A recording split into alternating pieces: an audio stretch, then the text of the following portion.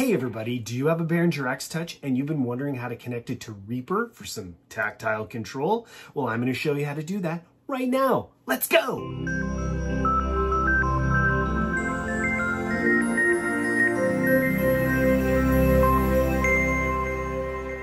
Okay, the first thing we need to do is set our X-Touch to the appropriate control. To change the control mode of our X-Touch, make sure the device is powered off, and then we're going to hold the select button on channel 1 while we power the device back on. This brings us into our control mode. So in this case, we want to set our mode to MC, which is for Mackie control, and our interface is set to USB. And back here, we have a USB cable plugged in. That's how we're going to interface with our computer.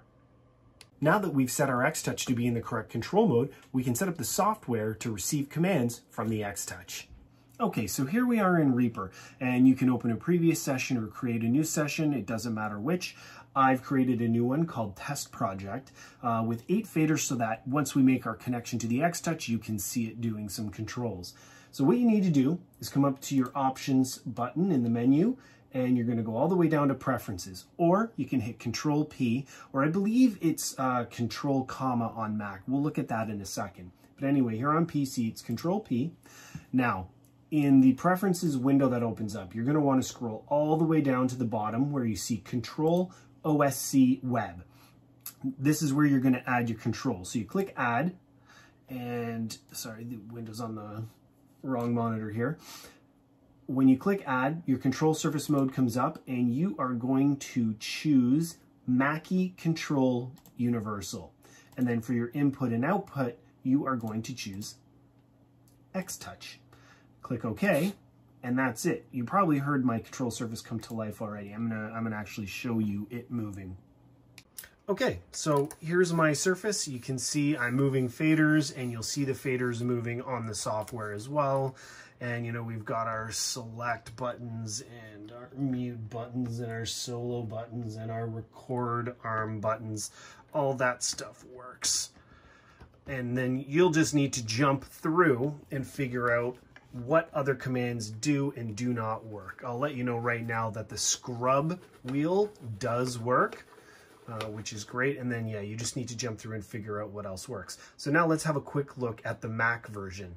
So here we are having a look at the Mac version of Reaper, and the setup is almost identical. It's just a slight naming convention difference, which I'll show you right now. So same thing that you do in Windows, you're going to come up to your options menu and down to preferences, or you can hit command comma to open this window. Once the window opens up, same thing, scroll all the way down to control OSC web. You are going to add the same control that we did in Windows, which is the Mackie control universal. And then in it, here's where the slight difference is. You're going to actually choose Behringer X-Touch Internal, and that's the same choice for both input and output. Once you've done that, your control surface should come to life, and let's have a look at, uh, at it working right now. So same thing as before, I'm moving my faders, and you can see them moving on the screen.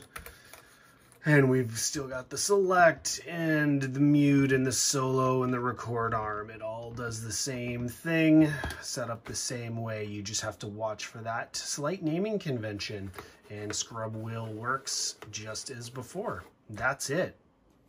So there you go. Super quick and easy to use your X-Touch to control your faders and commands in Reaper.